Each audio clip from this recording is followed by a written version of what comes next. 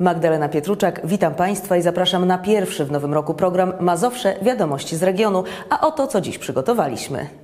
Mazowsze podzielone statystycznie. Muzeum Wyszogrodzkie w Płocku. Strażacy w Nowym Dworze mają czym oddychać. Podział Mazowsza sukcesem? Tak, od 1 stycznia województwo mazowieckie jest podzielone, ale tylko statystycznie na bogatą Warszawę wraz z dziewięcioma powiatami oraz na biedniejszą pozostałą część województwa. Dzięki temu uda się skuteczniej zdobywać fundusze unijne. Ogłosił to na konferencji prasowej w Urzędzie Marszałkowskim Adam Struzik, marszałek województwa.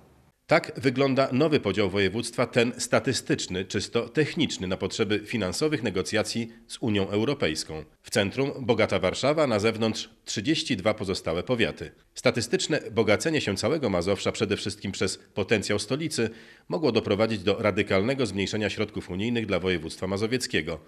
Rozwiązaniem była zmiana podziału statystycznego i nad tym samorząd Mazowsza pracował od 2011 roku. Wnioskowaliśmy do polskiej strony rządowej i do instytucji europejskich, takich jak e, Eurostat, czyli instytucja, która zajmuje się monitorowaniem rozwoju, i Komisja Europejska. Wnioskowaliśmy o to, żeby Mazowsze nie dzielić w sensie administracyjnym, nie tworzyć dwóch województw, bo mielibyśmy wtedy bardzo bogate województwo stołeczne i biedne województwo mazowieckie.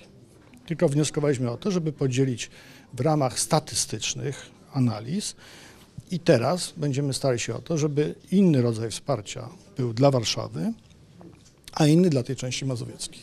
Bez pieniędzy unijnych nie udałoby się w gminie Długosiodło wybudować dróg, wodociągów czy kanalizacji. Samorządowcy w tak zwanym terenie cieszą się nowym podziałem województwa. ta nowa rzeczywistość stwarza nam naprawdę wielkie możliwości o ubieganie się po kolejne środki pomysłowe, kolejne transze, które są nam niezbędne, bo ciągle mamy jeszcze do zrobienia, proszę Państwa. Są jeszcze gminy, gdzie nie ma, nie wszystkie miejscowości mają wodociągi. Ciągle potrzebujemy jeszcze rozbudowy kanalizacji.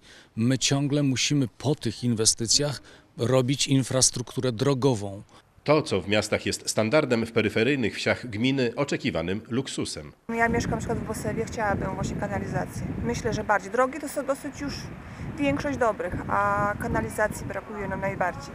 chyba nie ma wcale poza terenem gminy Długośląsk, poza gminą, może tak. E, My mieszkamy w Starym Bosewie i tam kanalizacji nie ma.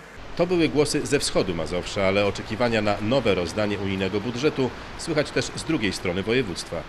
W Ciechanowie kilka tygodni wcześniej byliśmy podczas otwarcia nowych oddziałów szpitalnych, ale lista potrzeb jest bardzo długa. Myślę, że duży sukces na pewno tych zabiegów, które wykonywał przez wiele lat tak naprawdę marszałek województwa Adam Struzik E, i cieszymy się z tego, że ten podział statystyczny obowiązuje, bo to daje nam dużą szansę na pozyskiwanie środków e, unijnych i na dalszy rozwój, bo trzeba myśleć zawsze z perspektywy wielu lat i pewnej strategii do przodu. E, Dzisiaj mamy duże środki unijne. Jeśli chodzi o sam Ciechanów, e, w tym momencie mamy podpisane umowy na e, 62 miliony e, złotych unijnego dofinansowania z tej obecnej perspektywy.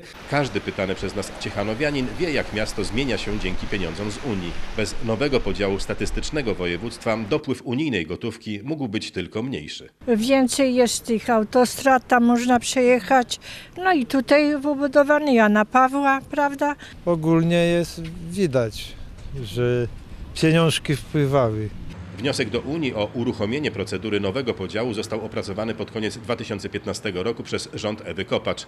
Ostatecznie został złożony w lutym 2016 roku. Bo łatwiej jest przekonać naszych partnerów w Brukseli do pewnych inwestycji, jeżeli możemy pokazać dokładnie, jakie jest tempo rozwoju w poszczególnych częściach województwa, aniżeli pokazywać globalnie całe województwo, które jest bardzo, bardzo zróżnicowane. Będziemy chcieli oczywiście w Brukseli też powiedzieć, że to nie jest tak, że mamy to wyłącznie z polityką miejską do czynienia, że tu są elementy też polityki tak zwanej periurban, czyli obszarów otaczających duże metropolie. I takie programy w Unii Europejskiej są do takich obszarów. Więc będziemy chcieli sięgnąć po te pieniądze. Podobnie będziemy chcieli sięgnąć po pieniądze z programu rozwoju obszarów wiejskich. Jak wynika z danych Europejskiego Urzędu Statystycznego, w latach 2007-2015 Mazowsze było jednym z najszybciej rozwijających się regionów Unii Europejskiej pod względem PKB na głowę mieszkańca i jednocześnie najbogatszym polskim regionem 109% średniej unijnej. Mimo silnego zróżnicowania pod względem potencjału gospodarczego, głównie za sprawą Warszawy, województwo wyszło z grupy regionów słabiej rozwiniętych, do której trafia najwięcej funduszy unijnych. Po przekroczeniu tego wskaźnika Mazowsze nie mogłoby już sięgać po pieniądze z unijnych funduszy na rozwój infrastruktury. Muzeum Wisły Środkowej i Ziemi Wyszogrodzkiej połączyło się z Muzeum Mazowieckim w Płocku. To dobra decyzja dla wyszogrodzkiej instytucji, dająca jej szansę na dalszy rozwój. To radni województwa podjęli decyzję o połączeniu. Tym samym Muzeum Wisły zostało oddziałem Muzeum Mazowieckiego w Płocku. Oddział Muzeum Wisły Środkowej i Ziemi Wyszogrodzkiej w Wyszogrodzie będzie prowadził działalność dotyczącą historii żeglugi i działalności człowieka związanej z Wisłą Środkową oraz historią dawnej ziemi wyszogrodzkiej. Teraz będzie także eksponował militaria związane z działaniami wojsk na terenie dawnej ziemi wyszogrodzkiej. Bycie częścią dużej instytucji to nowe możliwości. No do tej pory funkcjonowaliśmy jako instytucja kultury utrzymywana przez samorząd e, miasta i gminy. E, Teraz jesteśmy oddziałem Muzeum Mazowieckiego i jest to dla nas ogromne wyróżnienie, tym bardziej, że możemy skorzystać z ogromnego doświadczenia pracowników tamtej instytucji. Placówka posiada ciekawe i cenne muzealia, dokumenty, makiety, mapy, narzędzia polowe, modele jednostek pływających, broń dawną i inne militaria związane z działaniami wojsk na terenie dawnej ziemi wyszogrodzkiej.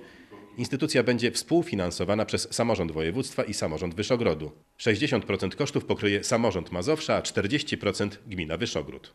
Dzisiaj warto ze sobą współpracować. To nie jest przejęcie, to jest współfinansowanie, czyli generalnie będzie to oddział Muzeum e, w Płocku E, i liczymy na to, że dzięki temu będzie e, można liczyć na szybszy rozwój tego muzeum, a z drugiej strony też dbamy o to, co jest naszą historią, naszą kulturą. Już w latach 70. ubiegłego stulecia były dążenia, aby w Wyszogrodzie powstało Muzeum Wisły i teraz te dążenia się finalizują. Święta za nami, ale czas na prezenty dla ochotniczych straży pożarnych nie mija.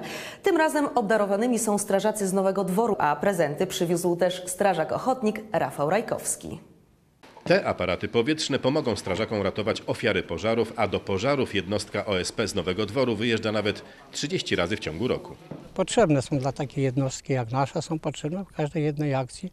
Nie wiadomo, co, każda akcja przyniesie, czy takie zagrożenie, czy takie. I taki aparat jest przydatny. Nikt tak dobrze nie zrozumie potrzeb strażaków ochotników jak inny strażak. Druh Rafał Rajkowski dba, żeby nie zabrakło w budżecie województwa pieniędzy dla kolegów strażaków. Przeznaczyliśmy 8 milionów e, w 2018 na dofinansowanie zakupu sprzętu. To jest taka składanka, która się wiąże z pozyskaniem środków jednocześnie z Wojewódzkiego Funduszu Ochrony Środowiska, e, z tych pieniążków, które my mamy przeznaczone, z wkładu również własnego gmin, które będą e, składały tak, takie wnioski, ale kwota jest okazała 8 milionów, dotyczy zakupu za- zarówno lekkich, średnich, jak i ciężkich wozów bojowych, jednocześnie sprzętu powyżej e, 3,5 tysiąca wartości, a więc e, sprzętu tak e, no, potrzebnego w akcjach dla, dla strażaków. Zachęcam wszystkich do składania wniosków. Strażacy z Nowego Dworu, zabezpieczając działania Państwowej Straży Pożarnej, w ciągu roku wyjeżdżają do niemal 200 zdarzeń. Na dziś to już wszystko, a ja zapraszam na kolejny program Mazowsze Wiadomości z regionu.